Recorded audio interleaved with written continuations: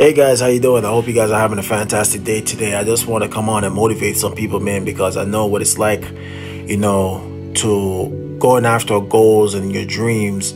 You may feel like you're being misunderstood. You feel like you're not supported. You feel like you're you're not encouraged. You feel like you're not appreciated. All these things. I just want to remind you that it will get better. It always get better.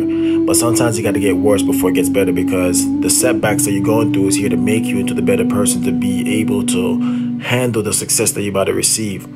So God has a way of where He will take away your wants and position position the space to give you your needs. But He can't give you your needs until you go handle them because sometimes your blessings could become a burden if, if you don't learn how to handle certain things. So when you go through any, any objections or rejections or anything that feels like a setback that's not feel like something that progresses you, it's a setup.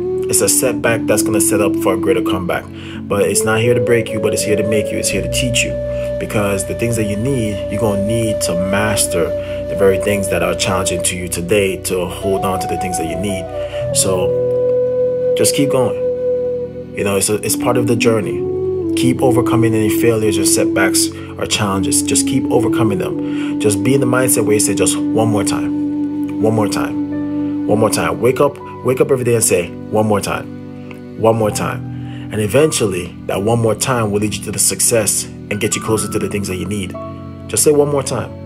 I challenge you to just do it one more time. And you're going to reach to your goals and your destination. But never give up. Never give up. Remember, you can only be a failure when you give up.